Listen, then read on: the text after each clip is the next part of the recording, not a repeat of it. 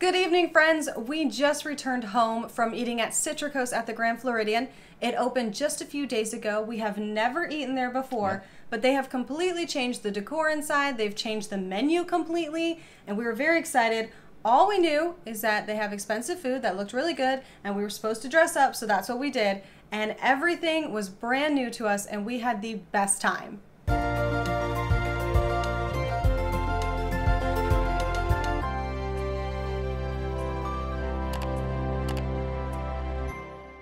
While they were closed, they actually remodeled the entire restaurant and introduced a Mary Poppins theme. Mm-hmm. Specifically, Mary Poppins returns with a few homages back to the original Mary Poppins, but it's all super subtle throughout the restaurant. They have things like butterflies on some of the lights. The main chandeliers in the dining room are inspired by umbrellas, kind of have that umbrella look to them. The patterns on the furniture have cherry blossoms referencing Cherry Tree Lane, and the sommelier room, which will eventually be a private dining experience that they offer, has pictures of 17 Cherry Tree Lane hanging on the wall and a little coat rack in the corner that has Mary Poppins' actual carpet bag on it, as well as her little umbrella and a few little penguins down on the ground. And they're the cutest little penguins ever. And the best part is, because Robert always wears hats, they did ask to take his hat while we were there. So they put it on the hat rack and included my umbrella that we brought that looks like the Mary Poppins umbrella. And they put it in the umbrella holder next to the Mary Poppins umbrella. So it was just really cool that we got to see our stuff on this actual hat rack. Now, as Alyssa mentioned, this is a signature restaurant, so you do have a dress code there. You don't have to wear a jacket, it is optional, but they do ask you to wear colored shirts and no shorts, things like that. So when we went there, we were all dressed up, ready to go, got our seats, and then we looked at the menu, and everything on the menu sounded really, really mm-hmm. good. And we were having a hard time deciding. So after talking with our server, getting some recommendations, we decided instead of two dishes for the first course, we were just gonna get four because we really couldn't decide between them. Go big or go home, right? We started with the pork belly that was paired with a fried plantain croquette. I was not a fan of that. I actually felt like it wasn't needed, but the pork belly was really good. It was a really nice size. It had great flavor. They'd seared it on top perfectly. And honestly, this was really, really good to start things off. I kind of thought this might be my favorite of the first course until I tried the other items that we ordered. I ordered the smoked duck breast, which I love duck anyway, but this had a pasta with it. The flavors in this were amazing. I absolutely loved it. This was my second favorite starter that we got. And I'm not a big fan of duck most of the time, but the smoky flavor in mm-hmm. this really got me. This was awesome. I would probably agree this is my number two of the things that we ordered. I ordered a sweet corn bisque that was poured right there tableside that also had some pickled fennel in there, which I've never had before, and popcorn, strangely enough. and I thought it was a very strange dish. I thought it was gonna be really weird, but actually the flavors worked really well together. I am not a fan of fennel most of the time, but the pickled fennel with this sweet corn bisque was delicious. The bisque was actually not sweet in and of itself. I expected it to be sweeter because it is corn. It was more like a palate cleanser, but when we added the fennel to it, that made it super sweet. It was a very strange combination, and yet it totally worked. We both loved it. And speaking of strange combinations, we also ordered a salad. And this one, as they started telling me about the different things in the salad, I wondered how it was gonna taste. And I should have known it was gonna be delicious because the server said it's his favorite thing on the menu. It was a strawberry salad. Underneath the salad, there was some chamomile infused goat cheese, which was super creamy and really good. Had some spiced sunflower seeds on there and a bacon vinaigrette, and then, of course, these strawberries. And the flavors and the juices from the fruit and the bacon vinaigrette and the crunchiness of mm-hmm. the seeds and the cheese, it all just worked so well together. This was hands down my favorite of the starters. It was both of our favorite starters. This was the best salad I have ever had. It had so much flavor, it was so delicious. And so we made sure to eat everything else first, and then we definitely had that so we'd have that nice taste before our entrees came. Now they've added a variety of non-alcoholic mocktails to the menu when they reopened, and I asked for a recommendation from the server. He recommended the Purple Penguin, so that's what I got. It's a combination of pineapple peach, grenadine, and lavender mixed with some seltzer water. It was amazing. The lavender really shone through in this. It had a very floral taste to it, but super refreshing. I wish I had like a big bottle of this for the hot summertime here in Florida because it was delicious. And we'd like to clarify no penguins were harmed in the making of this drink. For the entree, I had to get the filet mignon. It sounded delicious. It's oak grilled, came with some mashed potatoes that they said were really buttery, and oh my goodness, were they not kidding. They were super buttery. They were so light, so amazing. I just wanted a huge side of just those mashed potatoes. They were so good. If you can't tell, she actually ate most of my mashed potatoes that came with my filet. The filet was delicious, cooked perfectly, had just a little tiny bit of char on the outside, and had a bordelaise sauce that was awesome with it, paired up perfectly, and there was some broccolini on there as well, so you could have a healthier vegetable, I guess. But overall, absolutely love my steak. Great option on the menu. And for my entree, I ordered the golden tilefish. This was highly recommended by our server. And he was right. He did a great job recommending things tonight. It came with Jupiter rice, chorizo risotto, and pink shrimp.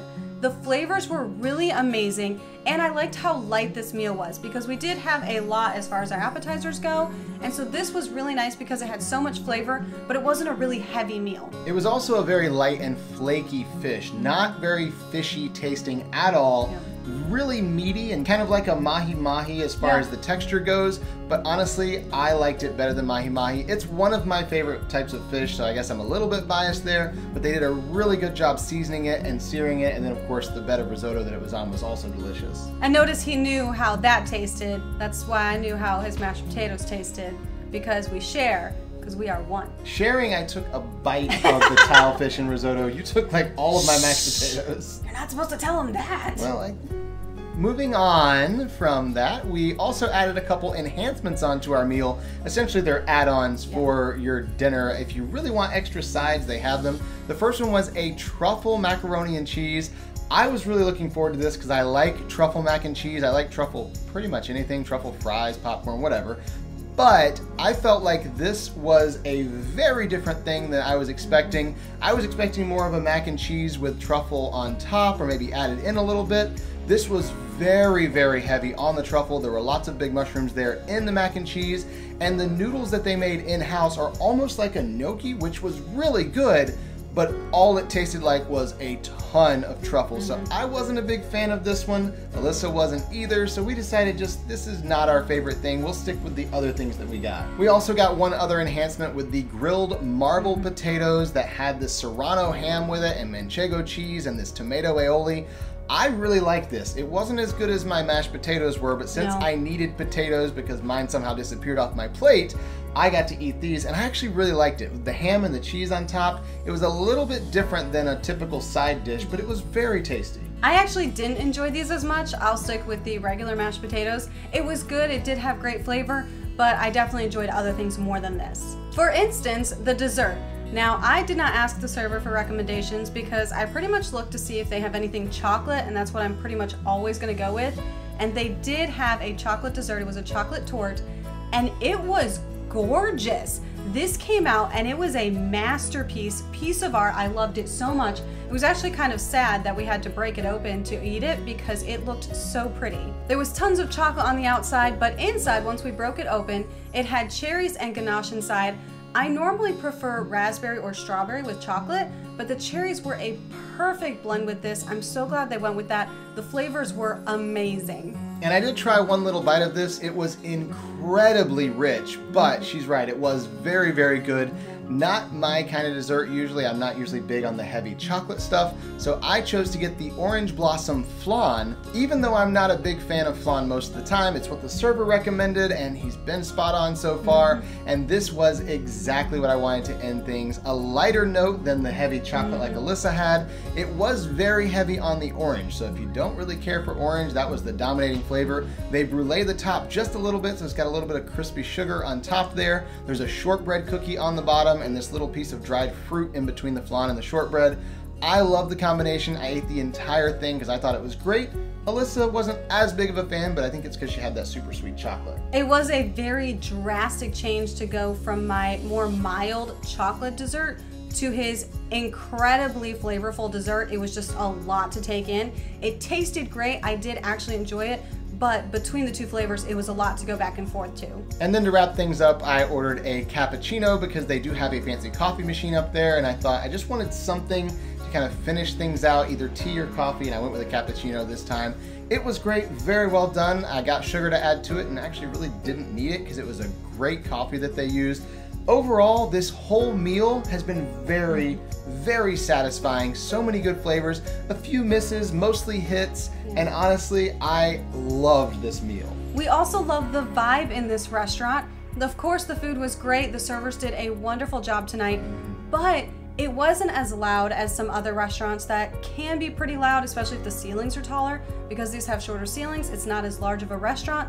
Yes, there is noise, there's of course other people there, but we really enjoyed the ambiance, the vibe, and this was just overall a wonderful place to go. That being said, we are not going to be going back here super frequently because it is a signature dining experience, which means you get all dressed up, but you also pay more for the experience. All in with our four starters and our two drinks and our two entrees and two desserts, we spent almost $250 including the tip and our discount for being a DVC member or annual pass holder. Not the cheapest meal we've ever had at Disney, but it was very good. We really enjoyed this. I would totally go back for any kind of special occasion, birthday, anniversary, whatever it may be. And comparing it to other signature restaurants like Topolino's Terrace and California Grill that are open right now, I would probably pick this one over any other signature restaurant that at least is currently open. And if you find it difficult to get a reservation here, or maybe you just want to get some drinks, you can go to the lounge. You can order anything off the menu from the bar, and of course, you can order any of the drinks as well. So it's a great place to go, maybe late at night after you've been at the park. If you want to just go chill, but you don't necessarily want to have a reservation, you can go to the bar and get everything you'd want anyway. Specifically, the strawberry salad. That is just it was so the good. perfect thing to have after a hot day in the parks. I could imagine coming back, getting that, having a drink sitting there in the lounge area. That'd be perfect. We hope you found this review helpful. If you do end up going and this was helpful, please let us know in the comments. We love knowing that we were able to help review things for everyone. And of course, we enjoy eating for those reviews You know, as well. we, we sacrifice for the greater good. It's what we do. Thank you so much for joining us tonight, and until next time. We're here with the ears.